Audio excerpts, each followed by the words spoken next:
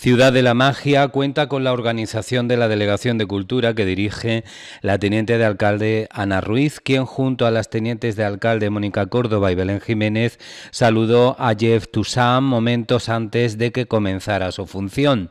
El ilusionista supo encandilar al público desde el principio en un show muy dinámico, mágico y participativo en el que llamó a 25 personas al escenario como parte integrante del espectáculo. Durante dos horas ha hecho disfrutar a los presentes con dosis de misterio y comicidad, basándose en el poder de la mente y en especial de la hipnosis colectiva. Hoy sábado el mago Antonio actuó en el Pueblo Nuevo con un nuevo lleno en el espacio destinado a la actuación. Ya el domingo a las 12 de la mañana en el Teatro Juan Luis Galiardo estará el mago Shantún, con el que disfrutaremos de un show familiar que combina la magia oriental con las risas del público.